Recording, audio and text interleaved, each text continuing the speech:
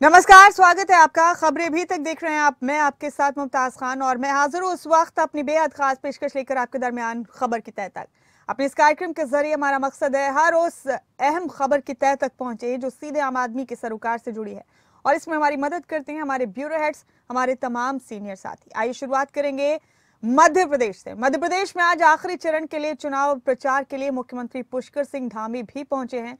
मध्य प्रदेश के इंदौर विधानसभा सीट पर बीजेपी प्रत्याशी के लिए प्रचार करेंगे सीएम धामी। इंदौर की विधानसभा सीट से रमेश मेंदोला हैं बीजेपी के उम्मीदवार और इस सीट पर उत्तराखंड के प्रवासियों की संख्या ज़्यादा है और यही वजह है कि उत्तराखंड के मुख्यमंत्री पुष्कर सिंह धामी आज यहाँ प्रचार के लिए पहुँचे। तो बड़ी खबर आपको दे रहे हैं, मध्य प्रदेश से चुनाव प्रचार के लिए मुख्यमंत्री पुष्कर सिंह धामी मध्य प्रदेश पहुँच गए हैं। इंदौर विधानसभा सीट पर बीजेपी प्रत्याशी के लिए प्रचार करेंगे सीएम पुष्कर सिंह धामी।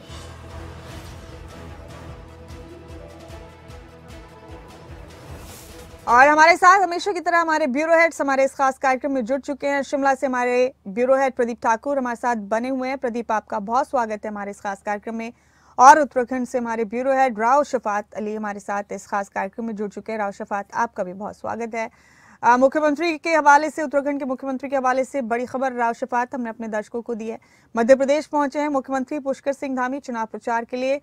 इंदौर विधानसभा सीट पर बताया जा रहा है कि उत्तराखंड के प्रवासियों की तादाद ज़्यादा है और यही वजह है कि उत्तराखंड के सीएम पुष्कर सिंह धामी यहाँ पहुँचे हैं वोट की अपील करने के लिए भारतीय जनता पार्टी के लिए। आप तफसील से बताइए कितना लंबा मुख्यमंत्री का ये शेड्यूल है और कैसे कैसे प्रचार करेंगे? मुमताज़, बेहद खास ये दौरा मुख्यमंत्री पुष्कर सिंह धामी का है और स्टार प्रचारक के तौर पर मुख्यमंत्री पुष्कर सिंह धामी मध्य प्रदेश में पहुँचेंगे। सवा ग्यारह बजे यानी ग्यारह बज के पंद्रह मिनट पर वो मध्य प्रदेश में पहुँचेंगे और वहाँ पर उत्तराखंड के रहने वाले जो लोग हैं, पहले उनका स्वागत करेंगे और इंदौर की विधानसभा जो सीट है, क्षेत्र दो की, वहाँ पर वो रमेश मेंदोला, जो भाजपा के प्रत्याशी हैं, उनके लिए चुनाव प्रचार करेंगे। और इस सीट की बहुत महत्वता भी है।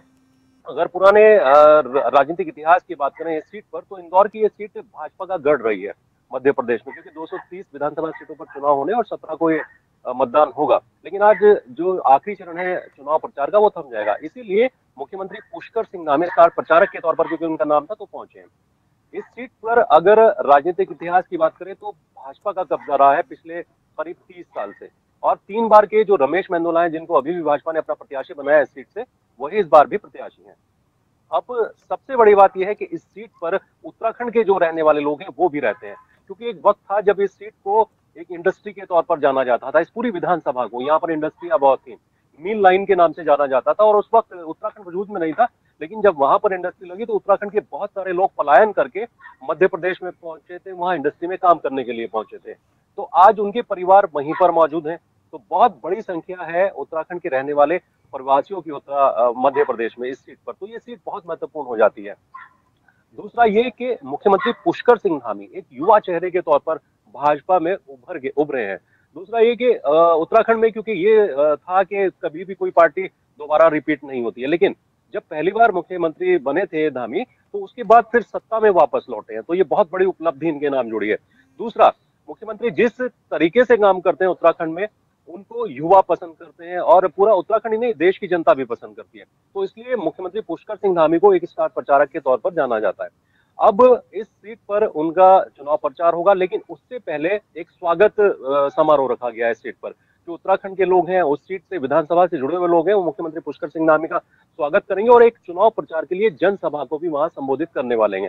सिलसिलेवार इस तरह से तीन चार कार्यक्रम उनके उसी सीट पर रहने वाले हैं। उसके बाद मुख्यमंत्री दिल्ली मूव कर जाएँगे। दिल्ली में उनके कुछ कार्यक्रम है।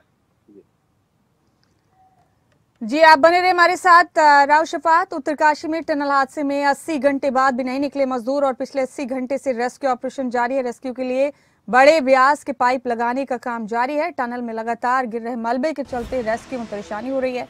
मजदूरों को रेस्क्यू के लिए 160 कर्मचारी जुटे। राव शफात का रुख करेंगे एक बार फिर। जी राव शफात रेस्क्यू ऑपरेशन लगातार जारी है। अभी तक किसी को भी बाहर नहीं निकाला गया है। कितना इंतज़ार और करना पड़ेगा यहाँ फंसे लोगों के परिवार वालों को भी और पूरे देश को भी। मुमताज़, देखिए, सब दुआएँ कर रहे हैं, प्रार्थनाएँ कर रहे हैं कि जो कर्मी अंदर फंसे हुए हैं, उनको जल्द से जल्द निकाला जाए। आज चार दिन हो चुके हैं मुमताज़, और बहुत दुखद है कि अभी कोई बहुत बड़ी कामयाबी नहीं मिली है। हालाँकि, देखिए रेस्क्यू बहुत चुनौतीपूर्ण है, क्योंकि जिस कदर मिट्टी अंदर सुरंग में है, जितना हटाया जाता है, उससे ज़्यादा लैंडस्लाइड हो जाता है। और किस तरह से वहाँ पर मजदूरों तक पहुँचा जाए, इसके लिए जो एक्सपर्ट्स की टीम है, जो रेस्क्यू की टीम है, वो जुटी हुई है। एक अगर मशीन होती है, बहुत हैवी इक्विपमेंट मशीन होती है तो एक पाइप का जो एक्सपर्ट ने कहा है कि एक पाइप के ज़रिए जिसका व्यास 900 मीटर का हुआ, करीब दो से ढाई मीटर फुट की चौड़ी ये पाइप होता है, इस पाइप को डाला जाएगा जहाँ पर ये मजदूर फंसे हुए हैं। और उसके बाद इन मजदूरों को एक एक करके रेस्क्यू किया जा सकता है। लेकिन अभी भी वक्त लग सकता है, क्योंकि कल से मशीन काम करे इसका प्लेटफॉर्म पहले तो तैयार हुआ, उसमें बहुत लंबा वक्त लगा और मशीन क्योंकि देहरादून में खड़ी थी और जो पाइप है बड़े व्यास के, वो भी देहरादून और हरिद्वार में मौजूद थे तो एक लंबा समय लग गया उनको पहुँचते पहुँचते। लेकिन कल ये मशीन पहुँच चुकी थी, इसका प्लेटफॉर्म तैयार हो चुका था। आज इस पर काम शुरू हो चुका है। करीब करीब दस मीटर तक कहा जाता है कि पाइप अभी बिछा दिए गए हैं।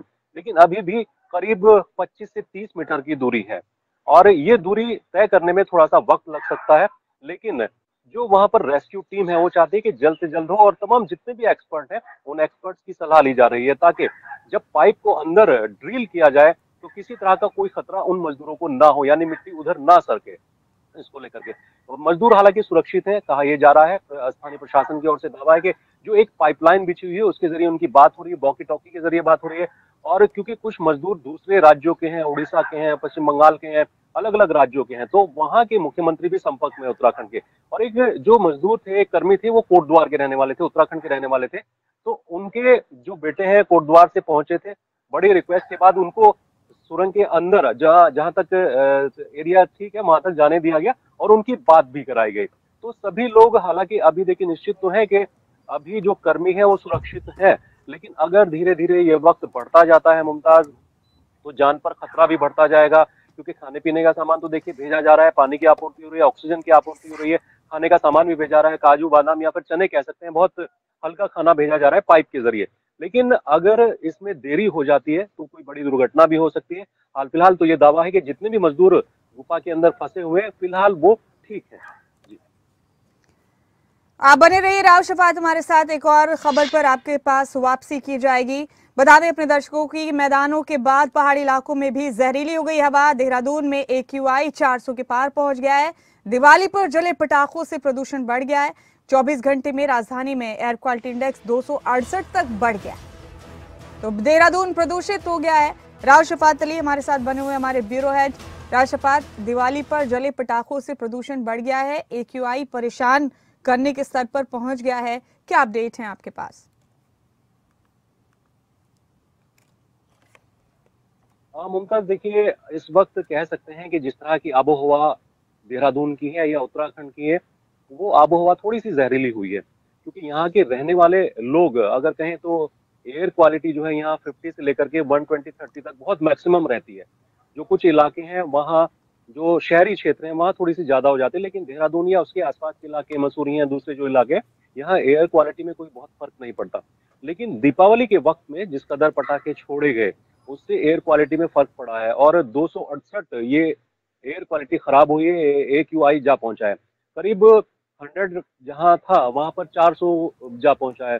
दो सौ अड़सठ का इसमें इजाफा हुआ है। कुछ क्षेत्र ऐसे हैं जहाँ पर इससे भी ज़्यादा इजाफा हुआ है। लेकिन खासकर अस्थायी राजधानी देहरादून की अगर बात कर लेते हैं तो यहाँ के कुछ इलाके जो शहरी क्षेत्र हैं यहाँ कर यहाँ के वहाँ पर 200 से 300 एक्यू पहुँचा है। यानी जो हवा है वो थोड़ी जहरीली हुई है धुएँ की वजह से। हालाँकि धीरे धीरे फ़र्क पड़ रहा है क्योंकि यहाँ पर सर्द मौसम है और गर्म मौसम में ज़्यादा दिक्कतें होती है। लेकिन अभी धीरे धीरे जो। एयर क्वालिटी है वो ठीक भी होती जा रही है। पर आज के आंकड़ों की बात करें तो देखिए चिंता वाली बात है कि इन इलाकों में जब पर्यटक यहाँ रुक करते हैं लोग उत्तराखंड की आबो हवा को बहुत बेहतर मानते हैं यहाँ के वातावरण को बहुत बेहतर मानते हैं ऐसे में एयर क्वालिटी का खराब होना ये चिंताजनक होता है। और खासकर दीपावली के वक्त में जिस तरह से हम्म। आतिशबाजी होती है धुआँ होता है सही कहा आपने उससे और ज़्यादा खराब हो जाती है एयर क्वालिटी बेहद शुक्रिया आपका राव शफात इन तमाम खबरों की तय तक पहुँचने के लिए और इस बीच हम रुक करेंगे हिमाचल प्रदेश का आपको बता दें कि मैदानी इलाकों से बेहतर है शिमला मानी की आबो हवा राज्य प्रदूषण नियंत्रण बोर्ड ने एक्यूआई रिपोर्ट जारी की है। दिवाली के दिन पटाखे जलने से तीन जगहों के एयर क्वालिटी इंडेक्स पर असर पड़ा। शिमला का एक्यूआई दिवाली के दिन 78 दर्ज हुआ और मनाली में एयर क्वालिटी इंडेक्स 29 से बढ़कर 55 हो गया। प्रदीप ठाकुर हमारे साथ बने हुए प्रदीप थोड़ा सा स्तर गिरा एयर क्वालिटी का दिवाली के बाद। हालाँकि मैदानी इलाकों से बेहतर है शिमला और मनाली की आबो हवा लेकिन थोड़ी सी उतार चढ़ाव नज़र आया है दिवाली के बाद। आपके पास क्या अपडेट्स बिल्कुल मुमताज़, देखिए जो दिवाली और दिवाली से पहले का इसमें रिपोर्ट ली गई है राज्य प्रदूषण नियंत्रण बोर्ड की तरफ़ से तो इसमें अच्छी बात यह है कि पटाखे जलने के बावजूद भी, यानी दिवाली होने के बावजूद भी कोई बड़ा असर नहीं पड़ा है और हवा जहरीली नहीं हुई है। लेकिन थोड़ा असर दूर पड़ा है। हम पॉइंट्स में इसको कह सकते हैं कि थोड़ा असर कुछ एक इलाकों में पड़ा है और उसमें जो तीन क्षेत्र मेन है, उसमें एक तो धर्मशाला, वहाँ का जो एयर क्वालिटी इंडेक्स है, वो सौ से ऊपर चढ़ गया था और इसी तरह से उन्ना का भी जो एयर क्वालिटी इंडेक्स है, वो भी एक सौ तिरपन के आसपास पहुँच गया था दिवाली वाले की मैं बात कर रहा हूँ और इसके साथ साथ ये, क्योंकि तीन इलाके हैं, अगर बात करें धर्मशाला जो उन्ना है और इसके साथ साथ इंडस्ट्रियल एरिया पौंटा का जो क्षेत्र है तो इन, ये तीनों मैदानी इलाके एक तरह के हैं और धर्मशाला एक भीड़ भाड़ वाला क्षेत्र है शहर है और ऐसे में कह सकते हैं कि यहाँ का एयर क्वालिटी इंडेक्स में थोड़ा परिवर्तन हुआ है, लेकिन इसको अच्छा माना जाता है क्योंकि जो राज्य प्रदूषण नियंत्रण बोर्ड के और जो एयर क्वालिटी मापने के मापदंड है उसमें एक से लेकर सौ तक की जो एयर क्वालिटी इंडेक्स होता है उसको सेटिस्फैक्ट्री माना जाता है, यानी संतोषजनक और गुड क्वालिटी में वो रहता है। सौ से अगर दो सौ के बीच पर पहुँच जाए तो उसको मध्यम रेंज में कहते हैं, लेकिन खतरे वाली जैसी बात नहीं होती है। और 200 से ऊपर अगर चल चला जाता है तो फिर वो एक खतरे की घंटी होती है। तो हिमाचल की बात अच्छी रही कि दिवाली वाले दिन लोगों ने ज़्यादा पटाखे नहीं जलाए और एयर क्वालिटी हिमाचल में अच्छी रही है इन तीन क्षेत्रों को छोड़कर। शिमला और मनाली की अगर बात करें तो थोड़ा असर पड़ा है, लेकिन हम कह सकते हैं कि सौ से ऊपर नहीं गया, यानी ये सेटिस्फैक्ट्री रेंज में है गुड क्वालिटी में जो यहाँ की वायु गुणवत्ता है, वो इस वक्त है और ये एक अच्छी बात भी क्योंकि मैदानी इलाकों में किस तरह से एयर क्वालिटी इंडेक्स जो है वो गड़बड़ा गया है और वहाँ पर प्रदूषण बहुत ज़्यादा हो गया है तो अब वो पहाड़ों का रुख कर रहे हैं। तो ऐसे में उन लोगों के लिए भी अच्छी खबर है कि दिवाली के बावजूद भी उससे पहले तो अच्छा था ही। उसमें जो बाकी क्षेत्र हैं हिमाचल के उस वक्त सिर्फ़ पोंटा साहिब का थोड़ा सा ज़्यादा एयर क्वालिटी था और वो भी मध्यम रेंज में था। लेकिन बाकी तो सारे इलाके प्रदेश के एयर क्वालिटी के हिसाब से वो संतोषजनक और अच्छी क्वालिटी के रहे हैं। और इसमें हम कह सकते हैं कि हिमाचल की जो आबो हवा है, वो बहुत अच्छी ट्रकों के लिए भी एक खुशखबरी है कि यहाँ पर दिवाली होने के बावजूद भी यहाँ की एयर क्वालिटी में कोई असर नहीं पड़ा है, कोई प्रभाव ज़्यादा नहीं पड़ा है, थोड़े नंबर जो है ऊपर नीचे हो गए हैं, लेकिन वो खराब श्रेणी में हम उसको नहीं कह सकते हैं।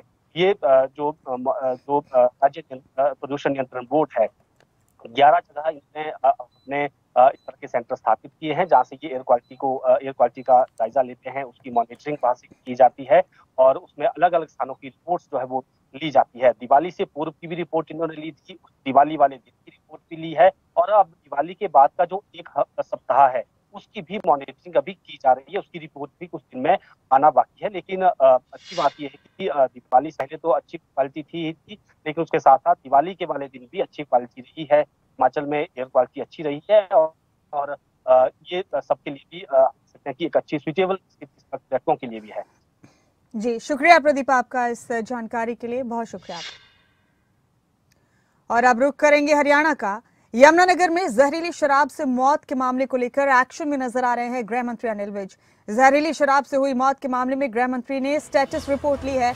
डीजीपी ने गृह मंत्री अनिल विज को जानकारी दी है। मामले में आरोपियों को गिरफ़्तार कर लिया गया है। गृह मंत्री ने ये जानकारी दी। उन्होंने कहा कि अवैध शराब की बिक्री किसी भी सूरत में नहीं होने दी जाएगी। उन्होंने ये भी कहा कि दो एसआईटी टीम इस पूरे मामले की जाँच कर रही हमारे स्टेट हेड जितेंद्र चौधरी शाम खबर पर हमारे साथ बने हुए हैं। जितेंद्र, यमुनानगर में जहरीली शराब ने कई घरों के चिराग लील दिए, कई घरों में मौत का मातम पसर गया। अब इस पूरे मामले को लेकर गृह मंत्री अनिल विज सख्त नज़र आ रहे हैं। डीजीपी ने उन्हें स्टेटस रिपोर्ट सौंपी है। उन्होंने कहा कि सभी आरोपियों को गिरफ़्तार किया गया है। मामले में कोई ढील नहीं दी जाएगी। एसआईटी का भी गठन किया गया है। कैसे समझेंगे इस पूरी खबर को, जितेंद्र?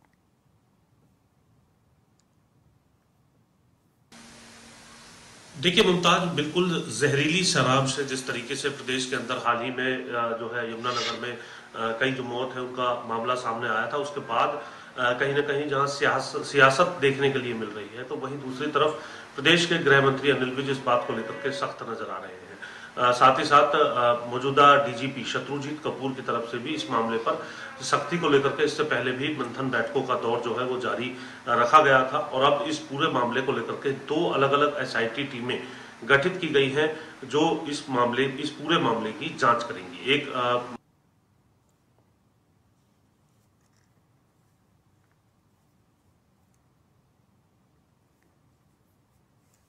तो गृह मंत्री अनिल विज इस पूरे मामले में एक्टिव नज़र आ रहे हैं।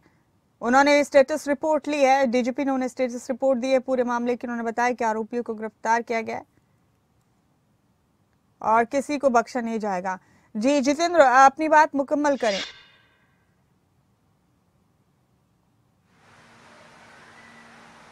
देखिए, बिल्कुल इस पूरे मामले के अंदर जो दो एसआईटी हैं, वो जाँच कर रही हैं, जहाँ एक एसआईटी जो है डीएसपी राजेश की अगुवाई में इसकी जाँच करेगी तो वहीं दूसरी एसआईटी डीएसपी कमलजीत सिंह की अगुवाई में जो है, वो बनाई गई है, इस पूरे मामले की जाँच को लेकर के। और साथ ही साथ पूरे प्रदेश के अंदर भी गृह मंत्री अनिल विज की तरफ़ से साफ़ किया गया है कि जो भी लीड आएगी, उस पर जाँच की जाएगी और सख्ती से एक्शन लिया जाएगा। किसी भी प्रकार से अवैध शराब की जो बिक्री है, वो प्रदेश के अंदर नहीं होने दी जाएगी। इस पूरे मामले पर अगर हम बात करें जो विपक्ष के जो लोग हैं, वो भी लगातार सियासत को गरमाते हुए नज़र आ रहे हैं और सरकार को घेरते हुए नज़र आ रहे हैं। तो वहीं सरकार के स्तर पर भी इसमें किसी भी प्रकार की कोताही न बरतने की बात कही जा रही है और एक्शन लेने की बात की जा रही है। इसमें से जो अधिकांश जो आरोपी हैं, उनकी रिमांड भी आज खत्म हो रही है। जो जानकारी है, उसके मुताबिक पुलिस रिमांड बढ़वाने की मांग भी कर सकती है। जी। शुक्रिया जितेंद्र आपका इस खबर पर तमाम जानकारी देने के लिए। बहुत शुक्रिया। और इस बीच आगे बढ़ते हुए आपको एक अहम खबर दे रहे हैं। कुत्तों के काटने पर अब पंजाब, चंडीगढ़ और हरियाणा को मुआवजा देना होगा। डॉग बाइट पर इन तीनों राज्यों की सरकारों को मुआवजा देना होगा। डॉग बाइट को लेकर पंजाब, हरियाणा हाईकोर्ट ने निर्देश दिए हैं। हाईकोर्ट ने याचिकाओं पर सुनवाई के दौरान ये निर्देश दिए। डॉग बाइट होने पर कम से कम बीस हज़ार रुपए का मुआवजा देना होगा। पंजाब, हरियाणा और चंडीगढ़ में पशुओं के कारण हो रही सड़क दुर्घटनाओं और डॉग बाइट के बढ़ते मामला को लेकर हाईकोर्ट सख्त नज़र आ रहा है। इसको लेकर हाईकोर्ट ने अब पंजाब, हरियाणा और चंडीगढ़ की सरकारों को डॉग बाइट पर मुआवजा देने के निर्देश दिए। हमारे साथ मेरी साथी हरसिमरत पॉल इस खबर पर बनी हुई है। हरसिमरत, डॉग बाइट को लेकर सख्त नज़र आ रहा है पंजाब, हरियाणा हाईकोर्ट और तीनों राज्यों को ताकीद की है। हाईकोर्ट ने कि इन राज्यों की सरकारें मुआवजा देंगी कम से कम बीस हज़ार रुपए का अगर डॉग बाइट का कोई मामला सामने आया। और ये इसलिए नोटिस लिया गया क्योंकि डॉग बाइट के मामला बढ़ रहे थे, पशुओं से हादसों के मामले भी बढ़ रहे थे। इन्हीं तमाम मामलों पर सुनवाई करते हुए ये अहम निर्देश दिया गया हाईकोर्ट की तरफ़ से। इस पूरी खबर को तफसील से कैसे समझेंगे हर हरसिमरत?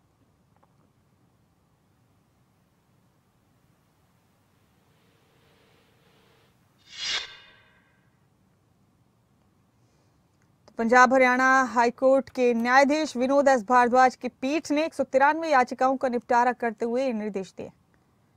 एक सौ तिरानवे याचिकाओं का निपटारा करते हुए हरियाणा, पंजाब की सरकारों और चंडीगढ़ प्रशासन को डॉग बाइट के मामला में मुआवजे का निर्धारण करने के लिए कमिटियाँ बनाने का आदेश दिया गया है।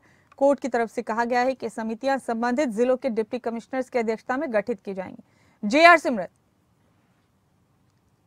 कि चंडीगढ़ जो है वो स्मार्ट सिटी के नाम पर जाना जाता है। यहाँ पर जितनी भी अगर पेट्स आपने रखने हैं तो उनकी भी रजिस्ट्रेशन आपको करवानी पड़ती है। उसके बावजूद अगर ट्राई सिटी की बात करें तो बहुत सारे समय से जो डॉग बाइट के केसेस हैं, वो सामने आ रहे थे। इसके अलावा पशुओं के साथ जो हादसे होते हैं, वो शायद आज की ज़िंदगी में आम बन गए हैं, जिसको करके आजकल ये ज़्यादा चर्चा में भी नहीं आते। पर आपको बताएँ कि इसको लेकर के हाई कोर्ट में पिटीशन डाली गई थी, जिसके अंदर तकरीबन एक सौ तिरानवे जो पिटिशंस हैं, उनका इकट्ठा निपटारा जो है, वो हाई कोर्ट के जज विनोद एस भारद्वाज ने किया है और उन्होंने इस मामले को जो है, वो संगीन बताया है। तो उन्होंने कहा है कि अगर आपको पालने का शौक है तो उसे जो है, आप पाल ज़रूर सकते हैं, पर उसकी जो जिम्मेवारी है, पूरी आपको लेनी होगी। वहीं पर बात की गई है कि अगर कुत्ता काटने से किसी को कोई दिक्कत होती है, किसी तरह का कोई केस सामने आता है तो उसका जो मुआवजा है, वो भी जो न्यूनतम बीस हज़ार रुपये रखा गया हालाँकि मैं आपको बताऊँ, इसका जो मुआवजा है, वो प्रति दांत के हिसाब से लिया जाएगा। अगर घाव जो है, वो ज़्यादा गहरा है तो उसके हिसाब से मुआवजे की जो रकम है, उसको बढ़ा दिया जाएगा। आपको बता दें कि पिछले पाँच सालों से लेकर अभी तक के जो केस है, तकरीबन साढ़े छह लाख जो केस है, वो डॉग बाइट्स के आए हैं। इसके अलावा अगर मैं बीते साल, यानी कि साल 2022 की बात करूँ तो उसमें तकरीबन एक लाख पैंसठ हज़ार केस जो है, वो डॉग बाइट्स के आए हैं। तो ये मामला जो है, काफ़ी संगीन है, क्योंकि अगर कोई ऑनर है डॉग रखता है तो उसे इतना भी पता होना चाहिए कि आपका डॉग जो है वो एनिमल फ्रेंडली हो पीपल फ्रेंडली हो इवन आप कहीं भी उसे ऐसे लेकर नहीं जा सकते और वो बिल्कुल भी एग्रेसिव जो। ठीक है हरसिमरत बहुत शुक्रिया आपका इस खबर पर अहम जानकारी देने के लिए इस खबर की तह तक पहुँचने के लिए। और आगे बढ़ते हुए बता रहे हैं आपको कि क्रिकेट वर्ल्ड कप में आज महा मुकाबला होगा। भारत और न्यूजीलैंड की वानखेड़े स्टेडियम में आज भिड़ंत होगी। दोपहर दो बजे से क्रिकेट का महा मुकाबला शुरू होगा। न्यूजीलैंड से 2019 की हार का बदला लेने उतरेगी टीम इंडिया। वर्ल्ड कप में भारत की जीत का सिलसिला लगातार जारी।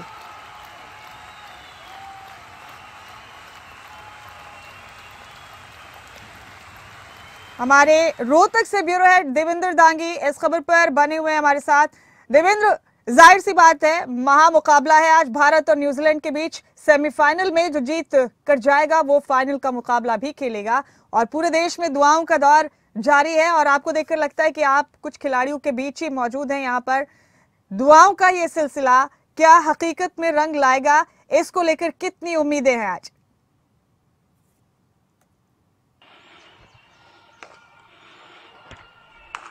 जी, मुमताज़, देखिए, उम्मीदों की जहाँ तक बात है, मैं पॉजिटिव थिंकर हूँ। मुझे कम से कम 200 फ़ीसदी उम्मीद है। और बात करें बाकी इंडियंस की तो इंडियंस जो किया है जो सिलसिला जारी है बेहतरीन प्रदर्शन का वो वाकई काबिल तारीफ़ है। और फ़िलहाल की अगर बात करें फ़िलहाल हम लोग यहाँ रेड बॉल क्रिकेट ग्राउंड है ये बड़ा फ़ेमस ग्राउंड है यहाँ पर हम लोग मौजूद हैं। कुछ कोचिंग यहाँ पर हैं कुछ खिलाड़ी आप पीछे प्रैक्टिस करते देख रहे हैं। किन किन लोगों से रूबरू होते हैं। आज जो महामुकाबला है कैसे देखते हैं? आज इंडिया और न्यूजीलैंड का जो मुकाबला है वो बहुत रोमांचक होने वाला है। और डेफिनेटली इसमें इंडिया विन होगा। हाई स्कोरिंग बिल्कुल आज बहुत हाई स्कोरिंग मैच हो क्योंकि वर्ल्ड में जितने भी मैच हुए हैं बहुत हाई स्कोरिंग मैच तो मुंबई में तो आप कितने आश्वस्त कैसे हो सकते हैं इंडिया के प्रति क्योंकि इंडिया इस वर्ल्ड कप में जैसे खेल रहा है ना तो पहले किसी वर्ल्ड कप में खेला ही इसलिए क्योंकि बहुत रिदम पकड़ी हुई है टीम ने और वो डेफिनेटली जीतेगी। तो लगता है कि वर्ल्ड कप लेके आएँगे? बिल्कुल सौ परसेंट। जीतेगी आज। तो लगता है वर्ल्ड कप लेके आएँगे? बिल्कुल सौ परसेंट। जो पिछला जो अनुभव रहा है अ, उसको देखते हुए आप कैसे देखते हैं? फ़िलहाल की जो स्थिति टीम की है विरोधी टीम की कहें या अपनी टीम की अपनी टीम की स्ट्रेंथ क्या होती है और उनकी क्या हो सकती है कमी क्या है उनकी? उनकी कमी है जो एक तो स्पिनर अपने बहुत अच्छे चल रहे हैं।